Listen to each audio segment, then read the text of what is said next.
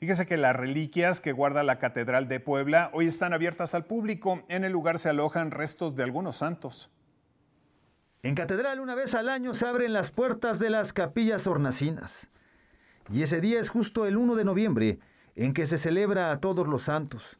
Se trata de los orígenes litúrgicos de estas fechas en las que recordamos a aquellos que se han ido, pero en primer lugar a quienes buscaron el camino a la santidad durante sus vidas.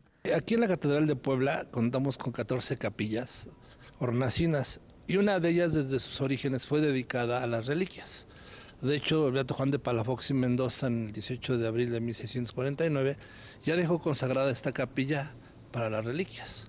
Durante este martes, paulatinamente turistas y fieles se daban cita se podía ver, entre otras reliquias, un dedo del Beato Sebastián de Aparicio o un fragmento de Santa Catalina.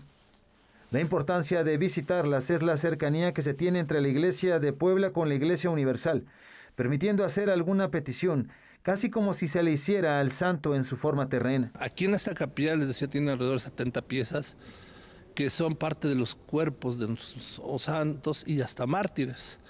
Eh, alrededor de la catedral, por ejemplo, en el lado del altar de San Ignacio y la, la Virgen del Carmen, ahí también hay unos, unos cuadros que testifican las pequeñas porciones de cuerpos de santos y santas. Y en 11, en 11 capillas tenemos los cuerpos santos.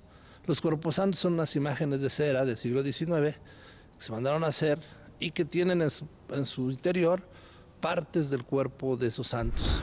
Aquí en Puebla, en la catedral, se tienen algunas reliquias de primer nivel. Una de ellas es la que está en este Corpus Santum del Beato Juan de Palafox y Mendoza. Está alojada en el pecho precisamente de esta imagen y es un fragmento de su caja torácica que por única vez al año se abre para que pueda ser visitado por los fieles.